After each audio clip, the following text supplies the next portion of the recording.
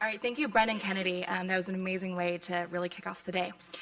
I'd, now, I'd now like to introduce uh, Dr. Jeff Chen. Uh, Dr. Jeff Chen is the director of the UCLA Cannabis Research Initiative, where he leads a team of over 20 faculty members conducting education and groundbreaking research into cannabis's broader effects, including health, legal, economic, and social impact.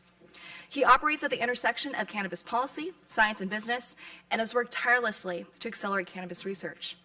He is a graduate of the MD MBA program at UCLA and graduated magna cum laude from Cornell University, where he studied biology, business, as well as music. Jeff has been an incredible resource for us as we began the journey of creating this conference a year ago, and we are very excited to have him speak about the science of cannabis. Please join us in welcoming Dr. Jeff Chen.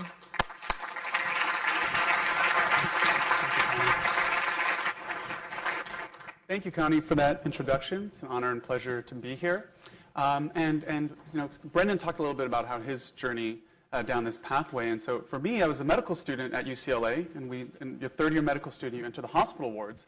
And being in California, I had a lot of patients either talk about their cannabis use or ask if it was appropriate for them. And it was a question I could never answer. It was a question that my attending uh, physicians and professors couldn't answer, right? So, and this is despite having legal medical cannabis in California for 19 years at that time. We couldn't actually give anybody answers. So I thought, okay, this is fundamentally fascinating. What could I do to advance the ball? And right around this time, I was actually getting my MBA at UCLA. So rather than thinking, you know, how, how could I just push one project forward? How could I hop on one project? Started thinking, how do I build an organization? How do I uh, create something that scales uh, more than I do? So today we're going to be talking about uh, cannabis science. This, I'm going to call this this uh, Cannabis Science 101 course. Um, you guys are my uh, uh, students today, and let's get started. So, Cannabis Science 101, aka the best class ever uh, in your life, um, aka this is all we do in, in this course room. So, this is a little different. You guys are seated today wearing real clothes. Um, but on a more serious subject, uh, we're today going to be diving, I'm going to give you a good overview uh, of the science of cannabis. And this is actually the cover of Time magazine two years ago. And uh, yes, in, in, case you were wondering, uh, I do spend a lot of my time trying to figure out how to teach mice to use little lighters. It's very difficult, right? Like, you don't have a thumb. How do you how do you flick the thing? I don't. It doesn't. Also, where you find these tiny lighters? They're not on Amazon. Right? Amazon store warehouse store of everything doesn't have tiny mouse lighters. Like, come on. All right. So, uh, but uh, all seriousness, today we're going to cover a few big topics. So, number one, you know, you in this room, you in this room, you in this room, all your bodies make cannabinoids. These molecules uh, are very similar to the, the compounds made by the cannabis plant. We only discovered this recently. We're also going to talk about the fact that cannabis is not harmless. Is, there are significant risks and harms that we should be aware of to have a rational conversation. There is also immense medical potential that Brendan alluded to some of it, um, as well as there are massive barriers to research that are preventing us from uh, realizing this potential. Okay, so our story today starts 600 million years ago. Okay, and so you might be thinking, what the heck was going on 600 million years ago? And so if you're anything like my nephew, the first thing that you might blurt out of your mouth is dinosaurs, because he, he loves dinosaurs, right? You ask him, like, what'd you do at school today? Dinosaurs. Uh, what'd you learn today? Dinosaurs. I'm like, are you learning that every day? Are they teaching you math, science? Weird. But you would be incorrect because you know dinosaurs were about 100 to 200 million years ago. We're talking much, much, much older than the dinosaurs. So 600 million years ago is when we believe endocannabinoids first developed in multicellular life.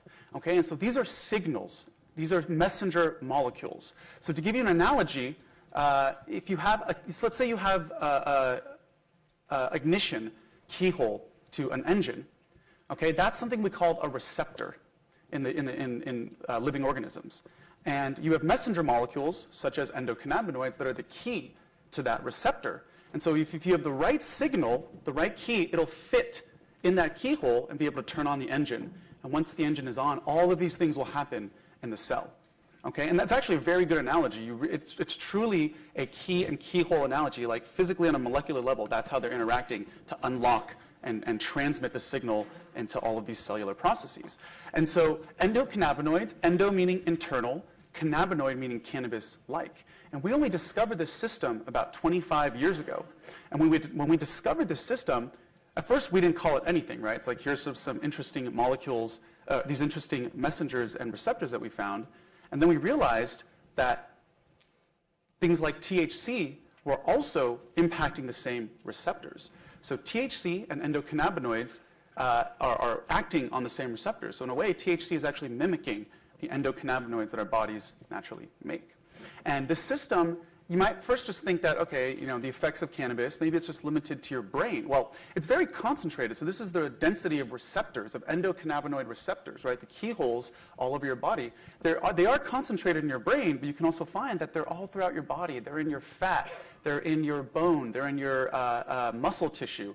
They're on your white blood cells. They're on your skin cells. They're in your organs. They're everywhere throughout your body. And then if you look at the functions of the endocannabinoid system, it's also diverse.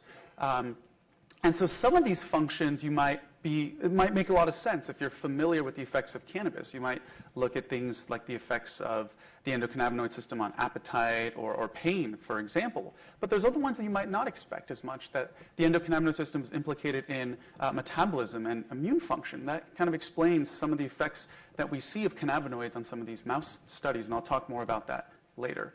All right, so 600 million years ago, evolution of the endocannabinoid system. 100 million years ago, dinosaurs went extinct, and, uh, and today we still find that the endocannabinoid system is actually present in all of these animals. Basically, anything that has a vertebra makes endocannabinoids. Everything from frogs to mice to fish to us, we all make endocannabinoids because this is such an old, evolutionarily preserved system. And about 40 million years ago, that's when the, we believe the cannabis plant evolved. And this plant happened to make things called cannabinoids. It made things like THC, tetrahydrocannabinol, and things like CBD, cannabidiol. So before today's lecture, who here in the room has actually heard of CBD? Show of hands. Wow, that's almost everybody. Three years ago, if I had asked that question, zero to one hands might have gone up in this room. That's how quickly CBD has hit mainstream attention, driven initially by the, the parents of epileptic, epileptic children who were reporting the use of it. But those are just two cannabinoids. There are over 100 different cannabinoids in cannabis, vast majority of which have never been researched. They've never been put into an animal or a human to see what happens there. And we'll talk more about this later. So, uh, you know, 40 million years ago, cannabis evolves. It's making these cannabinoids, and these cannabinoids, again, are mimicking the endocannabinoids that we make, right? They are both THC and our endocannabinoids are similar looking keys that open the same keyhole that start all of these downstream cellular processes. Okay? Um, and you might be surprised to, to know that if there's a way that we could actually impact endocannabinoid system activity, we could potentially be impacting nearly or, or, many, if not, if not almost all, diseases that affect humans. So this is actually a review paper out of the US NIH, which is the federal government's biomedical research arm, uh, where they went through all of the literature that we know about how the endocannabinoid system is implicated in both health as well as disease. And we're finding that if there's some way that we could impact the endocannabinoid system, we could have therapeutic potential in almost all diseases affecting humans. And cannabinoids are a modulator of endocannabinoid system activity. They're not the only modulator. Diet, Exercise, other drugs also modulate the endocannabinoid system activity, but cannabinoids are one very important modulator that we should be aware of. Okay, so 40 million years ago, cannabis evolves. Now we jump to about 3,000 years ago when we have the first recorded written uses uh, uh, concerning cannabis consumption uh, for, for medical use or for, for spiritual recreational use. Um, we were using cannabis maybe about 10,000 years ago, but mainly as for fiber and industrial hemp purposes. It was really 3,000 years ago in China that we had the first uh, recorded medical uses. And so this is this um, mythical emperor, Shennong, who has been uh, uh, uh accredited with, with authoring uh, these materials. And this is the Chinese character for ma, which means both cannabis as well as anesthesia in China. And that character has been preserved for a really long time. And so, you know, you might be wondering, so um, Emperor Shennong, when some of his uh, uh, officials asked him, you know, Emperor, how is it that you discovered these properties? He went, well, you, you know, I, I, I smoked it, but I didn't inhale. So just, you can, okay? I'm glad you like that. All right, so 3,000 years ago, it's discovered in China, and we see we can actually document uh, in written text the spread of the medical use of cannabis to the Middle East, where it's adopted by uh, uh, the Persians and, and, the Indian Hindus. Uh, it's adopted by the Romans and the Greeks. It makes its way to medieval Europe, um, and then eventually gets its way over to the US, where about 150 years ago, it's officially entered into the US pharmacopoeia. And this is the official uh, uh, book, this, the, the standard-setting document that describes all recognized medicines. And in the pharmacopoeia in 1850, uh, cannabis is, is listed as having all of these use cases, some of which were probably a little hokey and, and misinformed, but there's a few that I want to draw your attention to.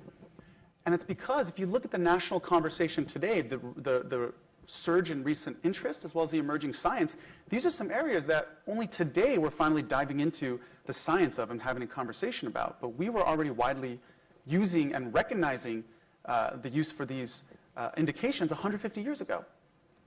And you also might be surprised to know that even as late as 100 years ago, physicians in America would prescribe cannabis. You would go to the pharmacy, you'd pick up a cannabis tincture bottle, similar to you know, the tinctures being made by, for instance, Tilray in Canada. Um, and some of today's existing largest pharmaceutical companies manufactured cannabis tinctures 100 years ago. You go to a pharmacy and you pick it up. This was completely normal. Um, and in fact, the American Medical Association actually uh, went to Congress and tried to prevent the uh, restrictions on cannabis that happened in the 1930s, saying that this is medicine that we use. Why are we doing this? Okay, so now let's talk a bit. We talked about the history. Now let's actually dive into what's actually in the plant. What's under the hood? so, like I said, cannabis makes cannabinoids, right? And there are over 100 different cannabinoids. Uh, the two most abundant ones are THC and, and, CBD. In a really simple way, you can create a dichotomy, one psychoactive, one's not. But I'll, I'll try to differentiate the properties more. But again, there's over 100 different cannabinoids. These two just tend to be the most abundant in, in, in most varieties of cannabis that we see today. But just because you have a specific cannabinoid that is present in very small quantities doesn't mean that it doesn't have a physiologic impact. So if you look at, in pharmacology, if you look at the dosing spectrum of drugs, it can go from milligrams of a drug to have a physiologic effect all the way to grams. So that's a thousandfold on this scale. So just because something is in low concentration, you know, it might be one one hundredth the concentration of THC in, in a particular cannabis plant, doesn't mean that it doesn't have physiologic effect. But again, we, we, most of these have never been studied. So let's talk about THC. so uh, it's responsible for this shift in perception that you have when you're intoxicated uh, can change your, your perception of sound, taste, smell, all these things. Uh, it does stimulate appetite. Yeah, mm-hmm, yeah, yeah, you know, she knows. Uh, it also releases dopamine, which can cause the, the you know, the euphoria uh, related with cannabis, and, and, we believe that you know, this is playing a role in the kind of uh, abuse dependence aspect that can result from cannabis use. Uh, short term, it can also impair memory. So while you're acutely stoned, you will have deficits uh, in certain forms of memory during that period of time. And uh, impairment in motor coordination. So what does that mean? It means you have about a doubling of your risk of car accidents. Um, but you compare that with alcohol, when you're over the legal limit of alcohol, it's significantly higher, 6 to 8x. And if you start looking at texting while driving, it, it jumps even higher than that, right? Um, so contrast that with CBD very, very different uh, things we're talking about. So first off, it's non-psychoactive. It doesn't have any effects, as we can tell, on motor coordination. Uh, no euphoria, and that's why we don't think that there's much of a dependency or addictive potential to CBD. Uh, does not stimulate appetite. In fact, in some of these animal studies, it looked like it might even uh, slightly curb appetite in some of these animal studies. And also, if you combine it with THC, there's, there's some evidence to suggest that it might actually block the psychoactivity of THC. So very different molecules. And the other interesting, interesting thing about CBD is, so THC definitely does have therapeutic potential. CBD might have a, wider uh, range of therapeutic potential as evidenced by uh, this quote. So this is from Dr. Volkow. About two years ago, she was testifying in Congress. She's the director of the U.S. National Institute on Drug Abuse. So she is the federal research arm for studying the abuse potential of drugs. And in testifying in front of Congress, uh, she basically talks about how there's preliminary evidence, animal studies, talk, showing that CBD has anti-seizure properties, that it's an antioxidant, like resveratrol from wine. It has neuroprotective properties, its ability to uh, uh, uh, uh prevent death in neurons, anti-inflammatory properties, analgesic properties, so anti-pain, anti-tumor, actually killing cancer cells, slowing their growth or preventing their spread, antipsychotic properties um, that have recently been demonstrated in the first human trials in the last few years in schizophrenics uh, and working, as we see it, as well as our, uh, some of our co- conventionally used antipsychotic drugs and anti-anxiety properties. So this is pretty fascinating, but again, all very preliminary. Most of this information is stuck at the animal stage. Very few, very little of it has progressed uh, uh in, in, humans. Um, okay, so we talked about cannabinoids being present in cannabis, but there's also things called terpenes. So who here in this room, before Brendan's talk, has heard of terpenes before? Well, again, a few years ago, had I asked, you know, it would have been significantly less. So terpenes, anytime you smell a plant and you smell something, you're smelling a terpene.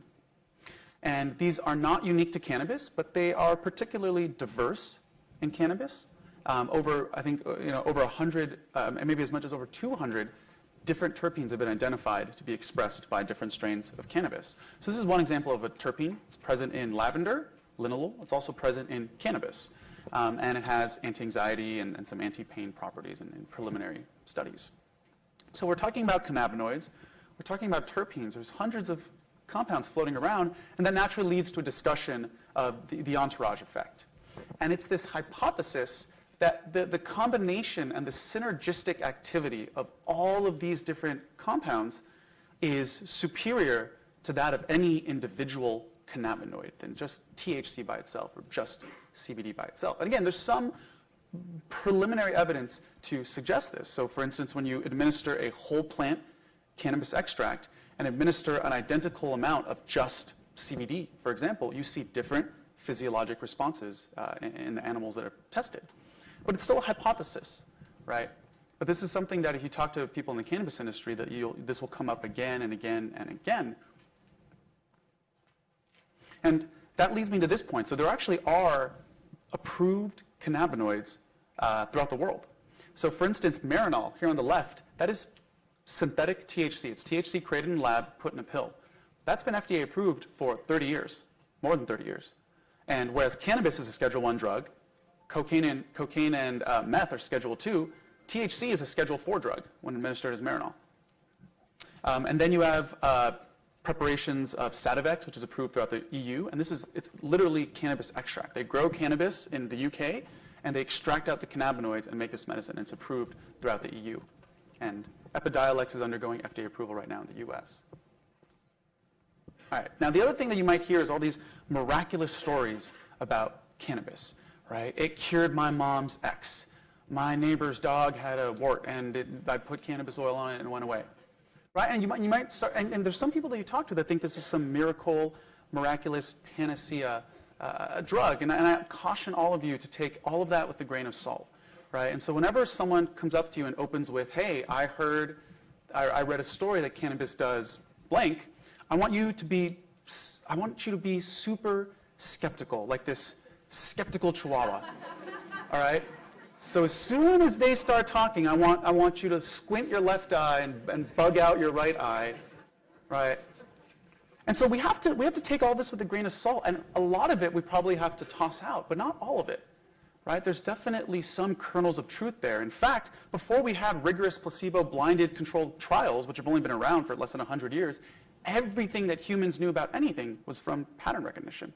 As creatures, we are very good at pattern recognition as a species. That's why we've been able to advance so far. So again, eventually you see something long enough, there's a pattern that arises, um, and, and, it's, uh, and, and sometimes it's, it's worth it to kind of chase after uh, some of these um, uh, uh, patterns or, or anecdotes that we see.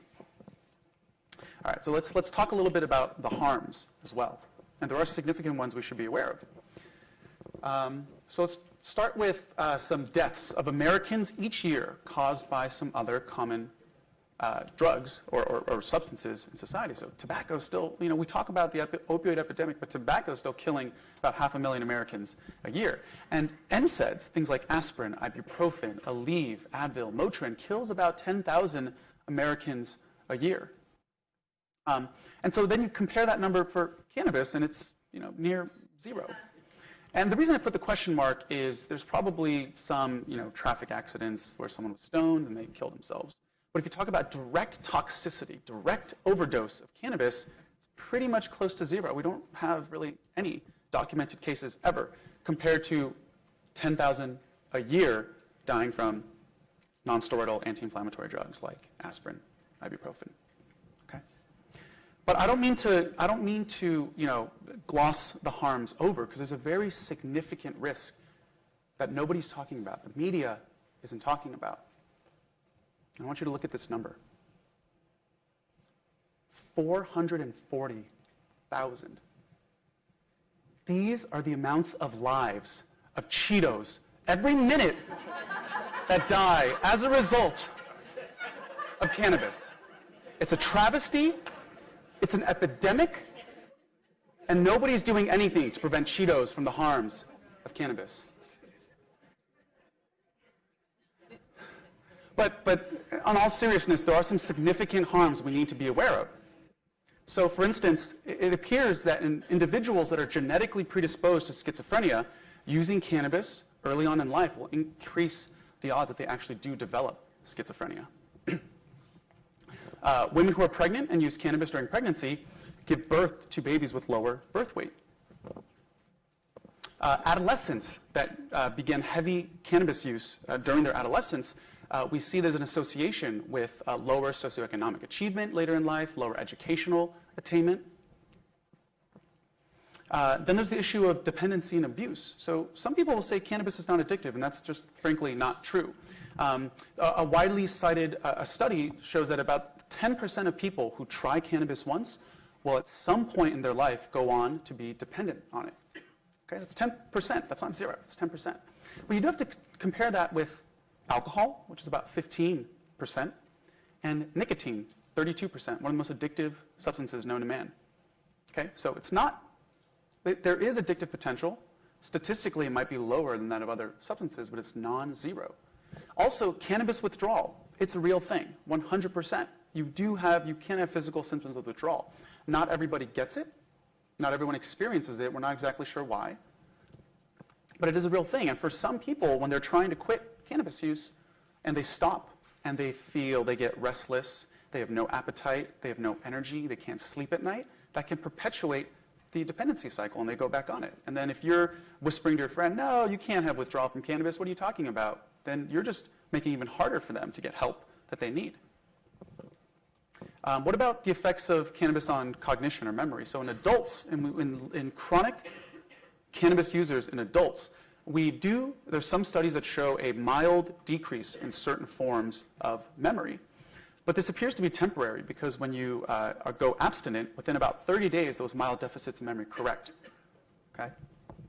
And the last issue, uh, uh, lung cancer, right? We find no association between cannabis use and lung cancer. Even heavy, heavy daily use for decades, no association with risk of lung cancer.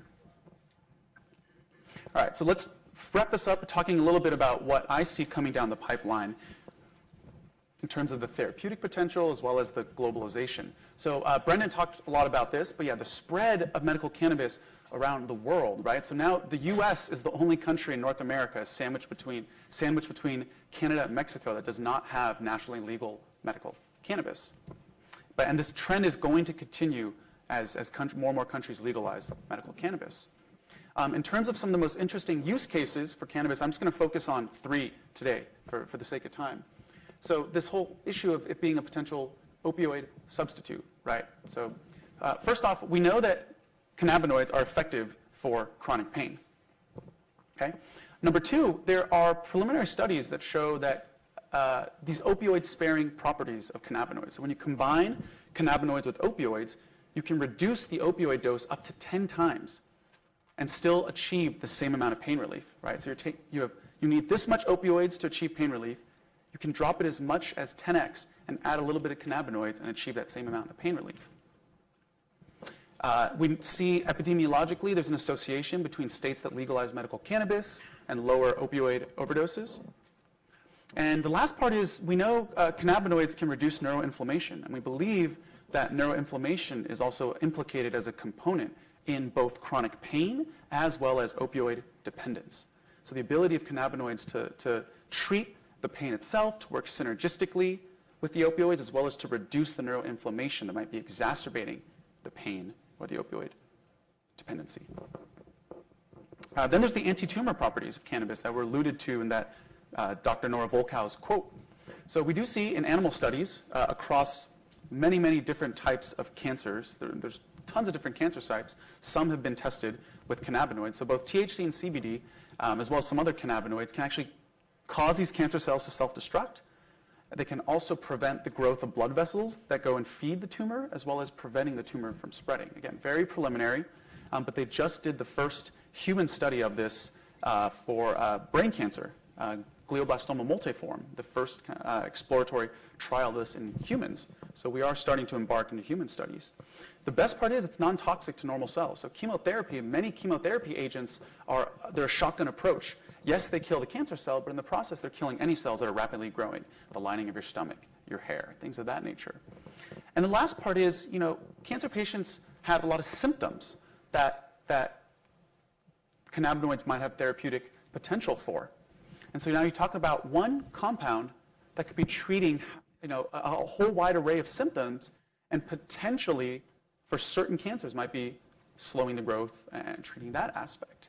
So now you're talking about, rather than having to take six drugs, each of which has their own side effects, then you talk about the cost of it. Then you talk about drug-drug interactions. So each drug has its own side effects. Then you have drug-drug interactions, which cause another level order of side effects.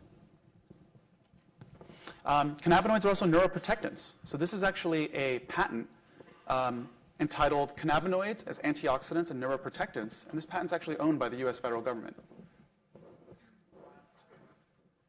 and it's old. It's from 2003.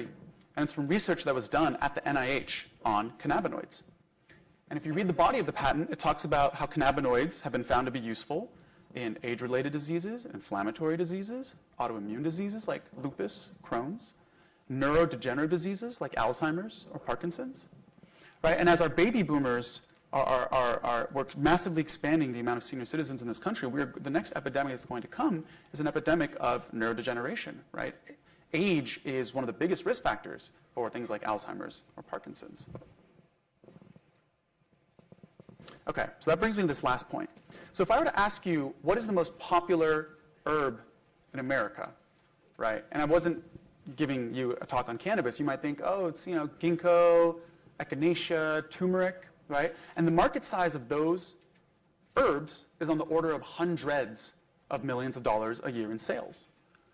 Whereas we're talking about the market size of cannabis in America, it's tens of billions, right? So a hundred times larger than the second most popular herb in America. So cannabis is America's most popular herb. And that leads me to some other you know, observations um, that, that people have had about cannabis as a therapeutic agent, right? So the idea that it could be cost effective and, and democratized, right? You can't patent it, you can't monopolize it, it's a plant. Um, and there's a reason it's called weed, right? It grows very robustly. You know, it doesn't need a lot of care. It's not like an orchid where you gotta like, you know, like, uh, uh, you know. It just grows by the side of the road in, in, in many parts of the world. Um, the idea that it might be safe, right? We that statistically less people die from cannabis, much less people die from cannabis than even die from over-the-counter drugs like Tylenol, ibuprofen. And the last part is the, the potential. We talked about a lot of potential use cases, right? But now again, you're talking about one agent that could be used for different symptoms or different conditions, right? So that's, that's, I find that very interesting. And that sounds great. There's only one catch, though. And that's it's so incredibly difficult to do research on this. And that's because for the last 50 years, cannabis has been a Schedule One drug. Even to this day, it's a Schedule One drug. Highest potential for abuse, no medical use. So researchers have to go through inordinate barriers to be able to get approval to touch cannabis and give it to a mice or give it to a human. Not only that, we're blocked from federal funding. So if you want to do therapeutic research on cannabis, you're not going to get federal funding. So the federal government funds on the order of about $200 million a year of harm research into cannabis, pretty much close to zero for therapeutic research. Now, amplify that over the last 50 years. 200 million a year. And so the only way that we can do this research is, I think philanthropy is going to be a large component of it. And, you know, and we are seeing philanthropists come onto the scene. So in Australia, there was a billionaire uh, banker whose daughter was dying of seizures. He gave her CBD, it seemed to work, and he donated uh, $30 million towards research. Largest gift ever for cannabis research. It was only about a year and a half ago, two years ago. So it's starting to come online. The philanthropists are starting to show up because we can't get really funding from anywhere else. These clinical trials are expensive, millions and millions and millions of dollars per clinical trial. Um, and lastly, I'll just end by talking a bit about what we're building here at, uh, or not here, building at UCLA. Um, so uh, we're about five months in uh, to the Cannabis Research Initiative, UCLA, one of the first programs in the world, uh, first academic programs in the world focused on the study of cannabis. Um, and our mission really is to broadly study the impacts on health, so both the positive aspects as well as the negative aspects. Right? We can't gloss over the potential harms especially as we are creating entirely new cannabis product categories that we don't know what they do. What, what does a 95% THC concentrate dabbed, uh, what, is, what does that do to you? We don't know. Um, our top priority that, that our research teams are working on right now is we want to conduct the world's first human study where we administer cannabis to chronic pain patients who are on opioids to see if it could potentially reduce or eliminate their opioid use. Again, you see so much conversation about this issue, no one's done the clinical trials to, to directly see what it can do to, to opioid use. Um, but we're still very early on in the study. It's going to take tons and tons of uh, money and resources to actually pull this off. But it's, it's, it's, our, it's, our, it's one of our uh, uh, dreams right now is to pull off this study. Um, you take a look at our website, some educational materials there. You can take a look at some of the existing studies we have going on. We have about 30 faculty members that I've recruited uh, into the initiative. And with that, that's the end of my talk. So thank you, everybody.